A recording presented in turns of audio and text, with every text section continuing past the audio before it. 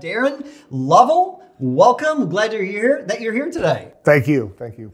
This is going to be awesome. I, I I say that in every podcast. I I, know. need to, I need to know, change right? that. But um, And he- I but they keep getting awesome. They keep getting awesome. Well, it's a lot of Awesome. pressure. I know It's it's going to be lot awesome, right? It's going to be awesome, and he's delivering it all. Um, so um, uh, Darren is uh, exceptional at what he does. We'll get into what he does, and he actually has a, a partner that well, I'm sure will be brought up in the conversation. Um, but Darren, with um, what we do on the podcast, we talk about uh, the Hero Edge, the coaching company that I run, and every hero has an origin story. And so um, I want to talk a little bit about your background and how you got started doing what you're doing. This is really a space for entrepreneurs and business owners um, to really just kind of give some value to the people that are listening and maybe get them to the next level of their journey um, to becoming the hero in their own story. So, with that, um, what's your origin story? How did you get started doing what you're doing? All those things. Yeah, no, so I'll, I'll take it back a little bit before I got in the mortgage business. So I moved down here from Iowa in, in 1999. Uh, relocation. Buckeye? Iowa, Hawkeye.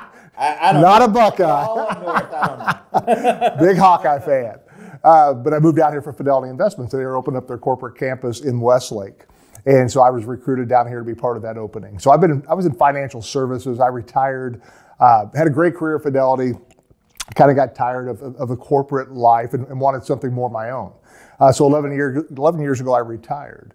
Uh, you know, the problem was I didn't have enough money and, and I was too young to retire. So, you know, everything at Fidelity, relational sales. And so I, I learned a lot in corporate America that now I apply to the mortgage business. And, and the biggest thing I think I learned is everything, you have to be intentional in everything you do and, and be relational. If you can be intentional and be relational, you're going to have success. I don't care if it's the mortgage business, it's the car business, it's the real estate business, it's the coaching business. If, if you operate with, with those two things, I think you're, you're going to be successful in what you do. Love that, love that. So when you got into how did you how did you decide that that lending or being a mortgage? How did you decide that was the industry you were going to step into? Yeah, almost by accident. So at the time, my, my, my wife, now Haiti, uh, was actually in the mortgage business. She had been in both real estate uh, and mortgage, had, had a life change in Florida, so got out of real estate, came here, got her degree, and, and went into the mortgage business. So I got done, and I'm like, with Fidelity, I'm like, I'm not exactly sure what I want to do. But, but I want to work with people and I, and I want to help people. Um, and so, honestly, getting into it, I really didn't know if I if I would have that ability to do that in the mortgage industry. But if you think about it, you know, every day I get to help people. I mean, I still believe that, that home ownership should be part of the America dream, American dream. So, um, so she was at a mortgage company. I went out and I talked to the folks, and there's like, take your test. So I went out and took the test and just hit the ground running, and, and honestly, haven't looked back. It, has been an amazing career. It's been an amazing run. I've got a, a great you know, teammate in, in, Haiti, but then I've also got a great team that helps support uh, our clients, our, our, realtors, as well as our, our, our, folks looking to buy or sell a house. I want to I want to go back a little bit because uh, part of what we were you know what we're looking to accomplish here at the Closing Table Podcast is to bring winners, individuals that we deem to be successful, that are doing something unique to excel or have. Uh, you know, so let's let's go back to the beginning. So what what are some of the characteristics, things that you've now learning business um, from any career that you've had that that you that you've bottled and you're using to be successful today? Yeah, I, yeah, I think finding something you enjoy, right? So it doesn't matter what that is, but it, but if you enjoy what you do, and from my perspective, if you have the ability to to change people's lives. I mean, for me, that, that drives me. That's why I get out of bed every single morning is I have the ability to impact in a positive way people's lives.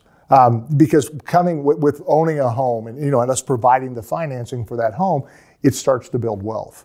We, we, we all know that, you know, real estate builds wealth. If you look at some of the richest people and the most successful people in this country, uh, Andrew Carnegie had, had a saying that 90% of all millionaires got there through owning real estate. And it's true. It was true then, and it's true now.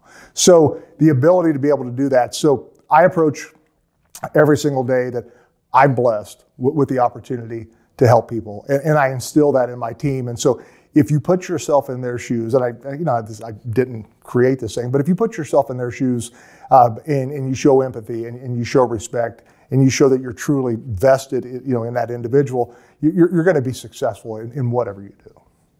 I love that, I, and and I think that um, real estate is I, I tell realtors all the time that we we are blessed to be able to help people with the biggest financial decision of their life. Usually, it's not always the case, but it usually is, and they, they should take it. They should take that um, honor appropriately, but then also understand that it's a gift. It's a gift that we are able to We're blessed. to, to, to be able to lean in and, and come beside. And there's all sorts of parts at that play. You know, we have title people, we have um, uh, lawyers, we have lenders, we have inspectors, we have all sorts of the, the, the process of a real estate transaction that we've had on this podcast, and all of us play a part in that same transaction, right? And um, I, I, it, it always baffles me. One as a as just a coach, but then also as a realtor, that realtors don't take that because that to me overcomes a lot of obstacles on why you should make phone calls, why you should reach out to people. Because if you come from a place of value and you understand what you're actually doing, this should be an easy conversation,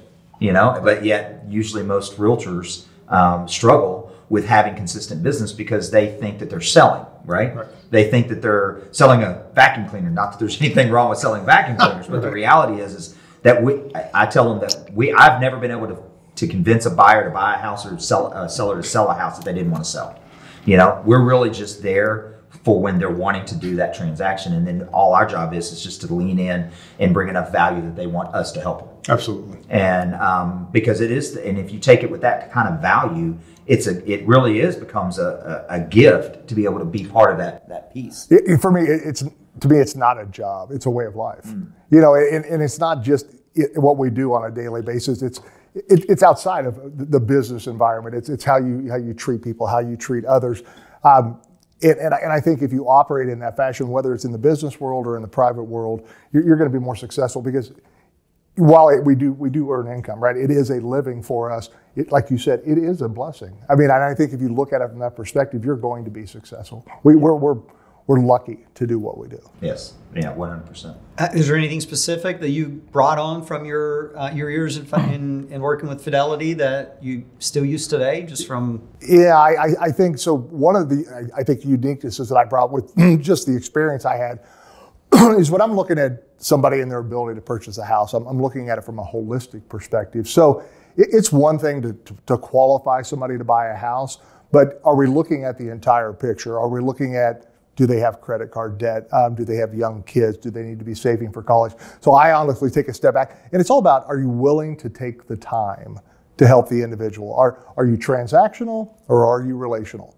You know, and, and so I'm going to be relational 100% of the time. So if you just take the time to look at that individual, for me, I'm talking about the nest egg. I'm talking about they've got kids, and you know, I'm not counting daycare expenses, but you have them, right? So let's look at that when we're looking at a mortgage payment because I may qualify you to buy a $500,000 house, but that's all you're going to be able to do is live in that house. And, and so that's something you know that I brought to the table to really look at using my financial planning and financial services background and, and bringing that into the business world. Well, and I imagine it's exactly where I was getting at. Is I imagine you also help real estate agents realize that because I know I work with a lot of real estate agents that are they just don't have the financial background. They don't understand, um, you know, so they're not prepared. Even even deal with being their own their own boss, Right. you know, and what that means from from a Uncle Sam stump, you know, standpoint. So, So yeah, and you're always looking at you know, the tax implications. I mean, you're also looking at creative ways that again I bring from Fidelity, where you've got you know where you can draw down on income streams to create income from a retirement plan,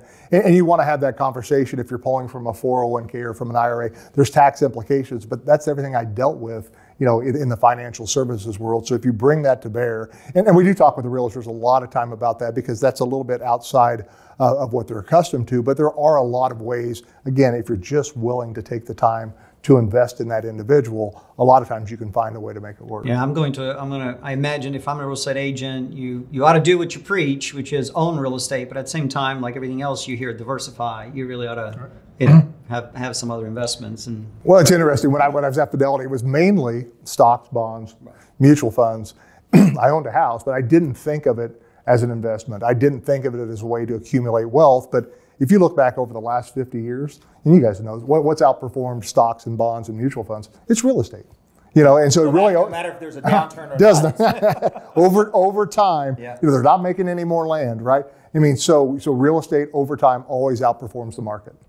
Yeah, yeah, and, and I, I would say you know that's with the market the way it is across the nation, but you know specifically into individual markets, you know that's probably the conversation that's happening a lot is should I buy a house now and all those things. But the reality is, if your goal is to keep that house for 10, 15 years or whatever, Right. um, it's always going to outperform. And you know, there's there's you know, depending on the market you're in, but but most of the major markets, you buy it now. It doesn't matter where you buy it. Doesn't matter how you buy it. If you buy it 10, 15 years from now, it's going to be worth more than it is today. So there was a survey that came out about three weeks ago, and it asked the top 150 economists in the country, where will home, and this was across the country, not, and they broke it out as well, but um, where will home values be five years from now? And the consensus was 23% higher. So I think what you might hear from mainstream media uh, versus what the reality is, is home values are not going to drop. You're going to gain accumulation of wealth. Um, again, 23% over five years, that, that's a pretty good number versus the sky's falling. Yeah. Plus, you get to live in it. and you get to live in it. You get to use it. So Absolutely. I- every time I buy a stock, I'm like, eh, yeah, eh, there it is. I don't get a discount when I go to Apple. No, no. don't. So you don't No. you don't have a coach to help you with your well, you know. I, your I, I've, I've, every you time know, I go hey into coach. every time I go to Apple to, to buy a watch or a thing, they never give me a discount because I'm an owner. I don't. I don't get it. That Tesla you own, you're, you're not getting a No, discount on it's it. just, you know, I, I don't get it. Um, That's called dividend. yeah. There you go. yeah, that's true. Um, and let, us don't get about Bitcoin. But um, so, um, knowing a little bit about you and your business model, um, so talk to us a little bit about your your team, your lovely wife, um, how you guys do business, um, and just that background of how you actually serve your clients. So, really, three, three, three things we bring. So, your, your, your principal core values, it, it's relationship, it's availability, and it's communication. So that is how we have built a, a business allowed us to be, you know, in the top one percent of loan originators in the country last year. You know, and I don't care about that number, but it, it means that we're what we're doing is successful. It- It's allowing us to create additional relationship, which allows us to help more families. So on relationship, so what I tell my team, and, and, I, and I tell the, the people I have a relationship with, it's never about that one deal. It's never about the buck. And when it starts being about the buck, you need to find something else to do. So we're, we're going to look and do whatever we can to help that person get in a home. If, if there's money we can throw at it, we're going to throw money at it. So whatever you can do to get that individual in a home, it's going to bless you down the road. You know, God knows what we do, right? And and you- you're not looking for that, but that's that's an outcome of what happens. So you've got somebody that's a first time home buyer had never thought they could be in a position to buy, and you can help them get into that home. It's gonna, you're gonna, you're gonna get that dividend. You're gonna get that blessing somewhere down the road. So somebody who's relational will look at it from that aspect versus I need to make a dollar on, on this deal. So that's that's the first thing. Availability. So there's you know my, my better half Haiti, and then we have two other loan officers on the Lovell team. So there's four of us. So that means we can cover a lot of ground. So the commitment we make both to our cli- clients being realtors as well as the clients that are looking to to buy homes, 8 a.m. to 9 p.m. seven days a week. Wow. So that doesn't mean I'm sitting at my desk. Like Eight a- yeah, eight you know, got my dinner in there, I got my feet kicked up. But when there's four of you, you can cover more ground. I mean, that's that's just a fact. So we've we've set up an internal rotation where, again, I'm going to be on vacation even though I'm still working. doctor's office. Huh? Everybody's on call. Yeah, it, it, it is. You know, and in the example I give, wh- who are you going to call at seven o'clock on a Saturday night when your client wants to make an offer and wants to know what that looks like from a numbers perspective? So that has been a game changer for us. It's just that availability because I was that individual loan officer trying to gather loan documents, trying to communicate, trying to be available. You get enough balls in the air, you're going to drop it, and you're going to ru- ruin relationships because of that. So availability is huge to us, and then communication.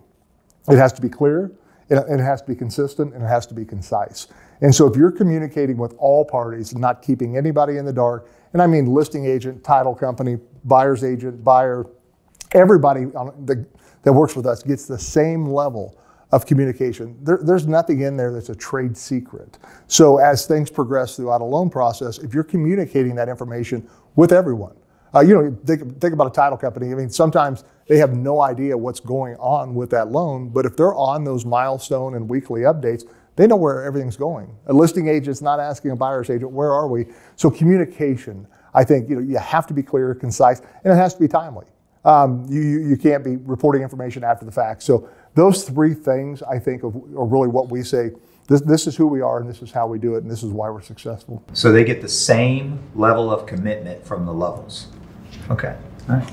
That's nice. You can have that. One second. They also have a holiday after this. it just happened. Well, and I think to that point, because we, you know, when the people that listen to this podcast, the people that we talk to, um, you know, it, we actually just did a taping, and one of the people said that uh, one of the guests said that um, that they see the success where they are, and they don't realize the work that got there. And so, um, coaching entrepreneurs, you know, there, there's a tendency to want to get to, you know, we, we turn, we instead of looking in the mirror, we look at the, the, the, the goal down there and think, well, I want to get that, but they don't really understand that there's a path to that. There's Right. a, and we all just think, well, I, you know, I want to have a team. I want to have, I want to be able to do a, that, and not have to work that, but they don't realize that probably that's not where you started. Yeah, definitely not. Definitely you not. start with a team. You know, you end with a team, but you, Right. but there's a process of building it, and that's the that's the entrepreneur journey, right? Yeah. Well, you know, I, and I think just like you know, this part of this came from corporate America is when, when I got into this business, I, I kind of took a pulse as to what, what most people did. And I identified those things that, you know, maybe I didn't like or I wanted to do differently. And, and then we implemented processes. And, and then I'm a big fan of, you know, continuous process improvement, Six Sigma. We're never going to be perfect, but you have to strive to, to be right and hopefully every time. But knowing you're human, you're going to make mistakes. So we're periodically checking in. Do you like what we're doing? How, how are we doing? You, you can't be afraid to make change because, I mean, ultimately, we can think we have the best processes in the world, but if it's not effective and it's not working for you know the, the end state, then it really doesn't matter what we think. So continuous process improvement is a big part of that. Uh, always looking what we're doing, always looking to refine, uh, never thinking we have all the answers, and always willing to learn. I love I, I love that. I think um, to that point, uh, I one of the things that I realized when I was building my team was it's a good question to ask how we did. It's a better question to ask what could we have done better. You know, but that's the harder question that most people don't ask because they don't want to hear the answer. But that answer actually gives you insight on how to actually continuously improve and continuously make your process better. Which at some point, then you're you're moving the you're moving the little things instead of the big things. Absolutely. You've taken you've taken care of all the big things. We uh, we've had a lot of guests on our private podcast that kind of uh, it feels like they knew what they wanted to do from a very early age, and they've just they were so focused and they became so successful. Sounds like you've already as finance, you've had a couple different careers, but do you? You, did you you always knew what you wanted wanted to do, or kind of help help our guests, our viewers, our listeners identify? Hey, it's okay if you maybe thought you wanted to do this. You don't have to you know you don't have to you, you can make a change at any moment but once you find something focus right? I, I would have never thought growing up in a million years I'd be doing what I'm doing. Know, I came from a small town in Iowa, very blue collar, uh, and, and really had no connection with, with the markets or with you know sales, if you want to call it sales. Uh, even out of college, um, started you know working at, at UPS and you know just in a management position. So you know where I came from and, and, and my family and my background to where I am now. um, I, I had no idea for, for many years exactly what I wanted to do, right? You know, when I grow up, I'm not sure what I want to do.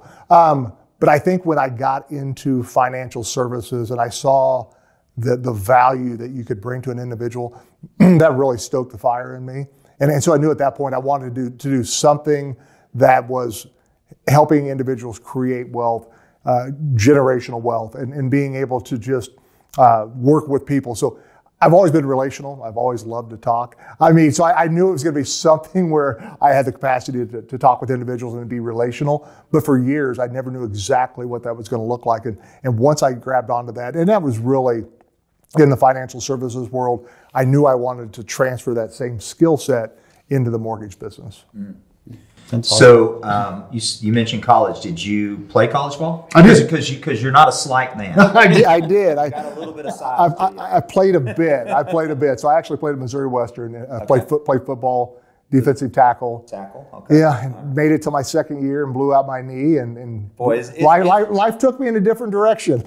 Isn't that the story of unfortunately most uh, of, of You're one accident for millions. yeah, it is. Uh, It is a contact sport. Yes, be, being being a coach in the high school ranks, for, Absolutely. um, it was one of those things that I tried to ingrain in the boys that go after your dream, but have a have a plan B if it's if it's a sporting dream. That- that- that's ex- you know my you know my son you know Peyton is Yeah. he plays football at Rice and and uh, I, I told him I said you know you, you go through the statistics how many of them make it I'm like this is what's going to make it you know? If you're lucky you maybe make it to that next level but you've always got to have your education uh, to fall back on. Well, and the funny thing is, I'm not a big believer in life in a plan B because I think it sometimes holds you back from accomplishing your goals. But at the same time, when it comes to things outside your control, and I think athletics is one of those things that you know you're one injury away, you know, and and so it's it's in that case it's like no, you probably need to have a plan but You, you need to get like you said, you need to get the degree, you need to you know apply it, all those things because you know hopefully you get to that level, whatever the level Right. wants to be. But if nothing else,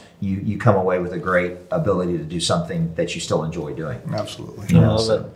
Uh, do you have any marketing strategies that you suggest for uh, maybe in this market right now for for I guess for some for our for our realtor viewers? I, Yeah, I'm, I I'm mean, thinking we have so many people that are listening to this podcast, not just real estate agents, but I, I, I think real real estate. Not. I mean, I think so. You know, right now it's it's it's an interesting time in, in our country, right? I mean, uh, f- for for many different reasons. But I mean, I think you know, taking it for just the, the real estate. You know, you, the interest rates are higher than they have been in the past. Historically, they're still okay.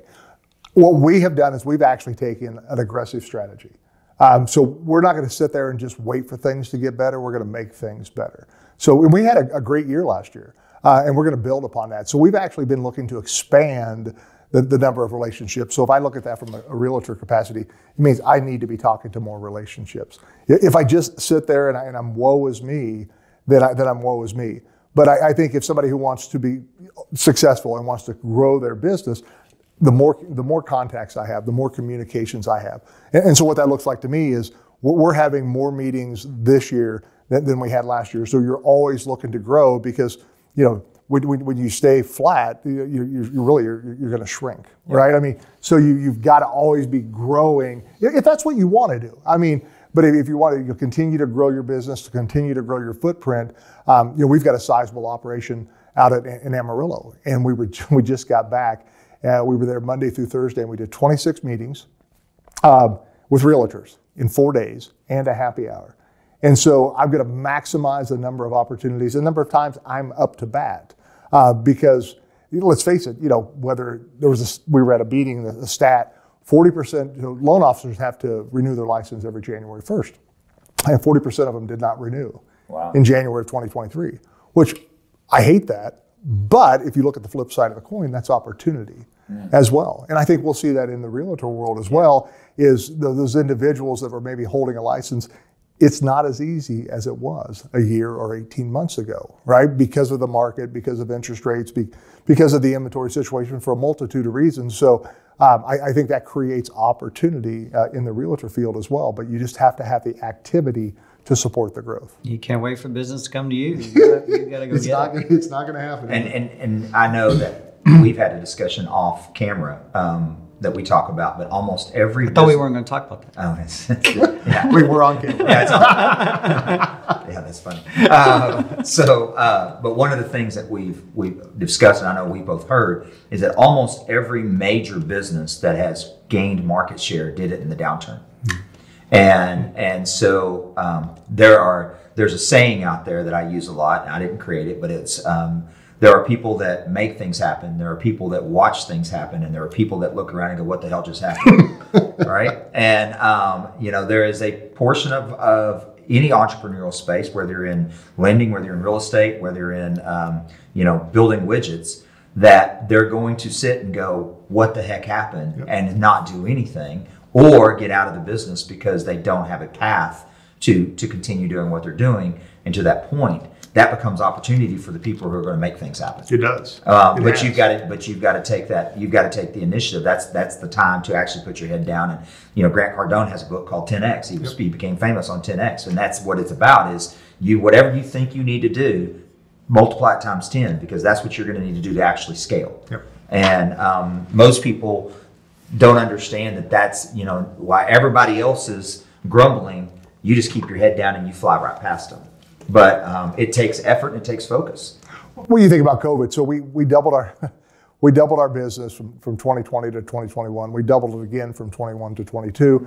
And, and our goal is to double it again in, by the end of 23. And, and part of that is we're, we're just keeping our head to the grindstone and, and we're working hard. And, and what we say is what we do, right? You, I mean, you could say that you're going to do everything, but if you don't do everything you say, you're going to ruin relationships. And so we've been incredibly blessed uh, over these last three years to significantly grow our business. That's awesome. So when I hear that, I, I, I imagine, well, we, if you're going to double the business, you need to double the number of people handling it. But how do you manage to, to do that and yet keep providing the same level of service? And, Yeah, and so you know, I believe that it doesn't matter what business, but if you're in relational, the relational business, there's only so many relationships that you truly can have. There's a number, right? You know, what, what's that number? And, when you get past that, uh, then I think you have the ability to destroy relationships. Because to be to be in a relationship or be relational, you, you have to be relational with those with those individuals, and, and that's our model. Is we're going to sit down, we're going to have breakfast, we're going to have coffee. I'm going to learn about your business and how we can plug into your business, and you know, as a realtor, grow your business because when your business grows, my business grows. So that means you're actually meeting with them. You know, I hear so many times, so many stories. Uh, Amarillo is a great example. So, you know, Amarillo is more of a banking uh, environment. It's traditional. It's nine to five, and, and we made a splash out there about 18 months ago, uh, and we go over every six weeks. And, and two or three months in, uh, the, the person we're meeting with is like, I used the bank for seven years. I never met him. And you've taken me to lunch twice. Well, I'm, I'm, i want to learn about that individual, their kids, their, their hobbies, their needs, because that's truly a relationship where if, if, if you're just punting business over to someone and, and you're not getting any reciprocity, that, that's, that's a one-sided relationship. So, so with that, it- it's a, it's a good thing to have in that we, we, we face some, some growth challenges and we just hired in Amarillo uh, another loan officer.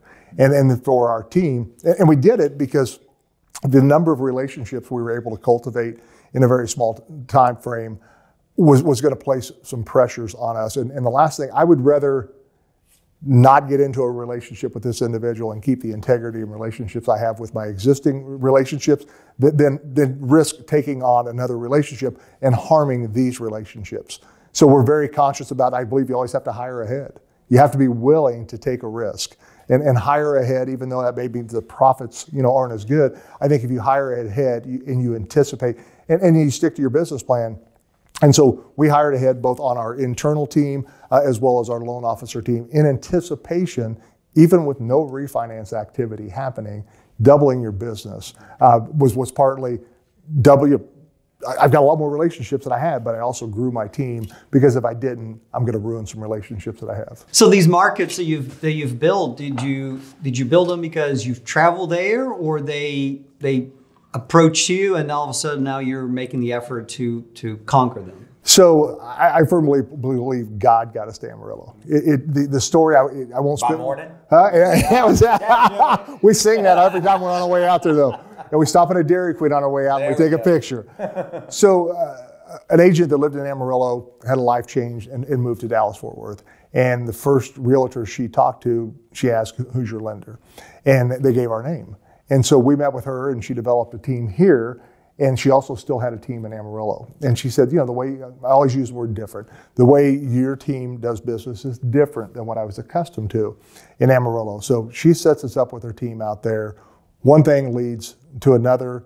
Um, and over the course of the last 18 months, we've now got about 40 relationships Wow. in Amarillo. That's awesome. 30% of our business is, is coming from Amarillo. So I would have never, I had never been, love the song, had never had, saw, saw him in My con- wife will appreciate that. She, saw him in concert just, just a little while ago, the King. Yeah, we were at the same concert. I know we were there. Yeah, I'm looking. Three of us right there. Huh? I'm like, I'm like Kevin Sherry here. well, I will tell you. I, just a side note: if George Strait's here, the answer is Kevin and Sherry there. Yeah. Because that's my wife. So I would had never been to Amarillo, had no intention. Not nothing wrong against And Amarillo. it, it doesn't it doesn't hurt that you guys like to travel, right? No, we love to. We are the traveling lender. I love it. Yeah, we you know we we like to travel a lot. We like to enjoy life. We're always working while on vacation because my wife says I can't sit still because I enjoy what I.